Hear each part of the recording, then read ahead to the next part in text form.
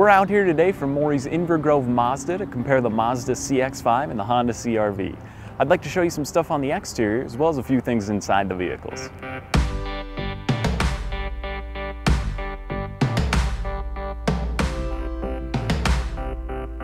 So the Honda CRV has a 2.4 liter with 185 horsepower. The Mazda is only one horsepower less out of its 2.5, but it is going to give you one mpg more as combined fuel economy.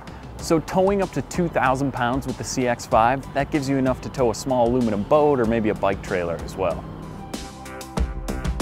So both the Mazda and the CRV are gonna have more of an adaptive all-wheel drive system. For the most part, it's gonna be in front-wheel drive to help you get the best possible fuel economy, but then say a winter storm comes along, it will kick in automatically and go right back to four-wheel drive for you.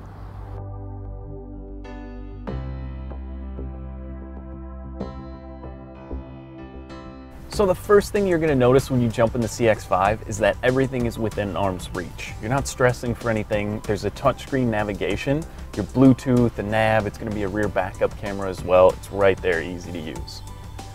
Also, you're gonna notice with your left hand, it's all your audio controls, Bluetooth controls. With your right hand, it's cruise control. I mean, everything you need is right there. As far as ride and drive is concerned, the car's great. It drives more like a compact sedan than an SUV. It's really nimble, it's really light, it doesn't wander on the highway or anything else like that.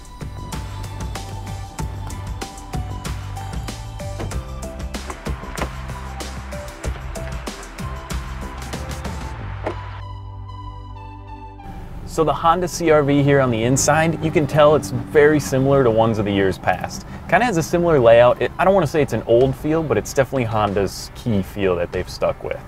Um, everything is easy to use again. You have your cruise control, your audio controls.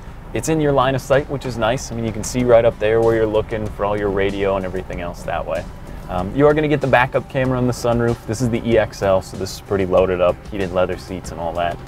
Um, just it's got a little bit of a dated feel to it nothing major honda's had that reputation of reliability and that's really what you're buying with the honda so in the exl one thing i missed from when i jumped to the mazda to this is that easy lane change assist when you tap the blinker down in the mazda it's going to blink three times for you and it's just one of those little things you kind of get used to uh, the other thing it doesn't have would be the blind spot detection system again after driving around for a little bit it's really easy to get used to that stuff Thanks for checking out our quick comparison of the Mazda CX-5 and the Honda CRV.